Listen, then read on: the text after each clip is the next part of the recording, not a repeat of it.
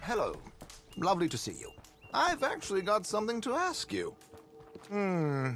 So, I've been asked to do someone a favor, and I can't. Well, I'm not much good in a fight, to be frank, and I don't even like being frank, so perhaps you can be frank for me, so to speak. It's a pal of mine. He's taking some wagons to Braithwaite Manor and needs a little security. Only, well, I'm sure it's legal, but it's probably not entirely legal, so I thought of you. Should be, uh, lots of fun.